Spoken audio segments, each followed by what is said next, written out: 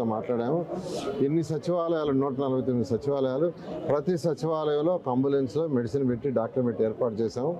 అంతేకాకుండా రాత్రి ముఖ్యమంత్రి గారు ఏం చెప్పారంటే ప్రతి సచివాలయంలో ఒక ఇది కూడా చేయమన్నారు. అంటే మెడిసిన్స్ ఇవ్వటం ట్రీట్మెంట్ చేసేది దాన్ని కూడా హెల్త్ డిపార్ట్మెంట్ చేస్తుంది.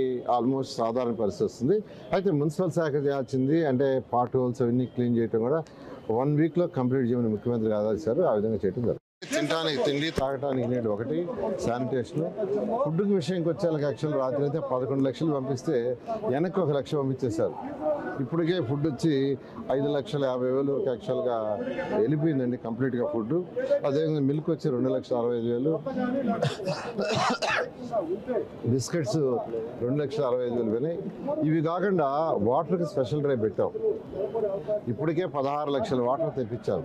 ముప్పై లక్షలు తెప్పించుకున్నాం ఇవాళ సాయంకాలం కల్లా పదహారు లక్షల్లో పది లక్షలు పంపించేశారు యాక్చువల్గా. ఇవాళ వాటర్ బాటిల్స్ వాటర్ ప్యాకెట్స్. ఇది కాకుండా ముఖ్యమంత్రి గారు ట్యాంకర్ పెట్టమన్నారు. ఇప్పటికే నూట అరవై ఏడు ట్యాంకర్లు తెప్పించాం. నూట పదిహేడు మార్నింగ్కే ఫిల్ చేసుకొని యాక్చువల్గా పోయి వాటర్ పట్టినాయి. పది ట్యాంకర్లు రెడీగా స్పేర్గా పెట్టి పెట్టాం. ఒక నలభై ట్యాంకులు ఫిల్లింగ్లు జరుగుతున్నాయి. ఇవి కూడా వెళ్ళిపోతాయి. సో వాటర్కి ఇబ్బంది లేదు ఫుడ్కి ఇబ్బంది లేదు. అయితే మెయిన్ సమస్య ఏంటంటే శానిటేషన్.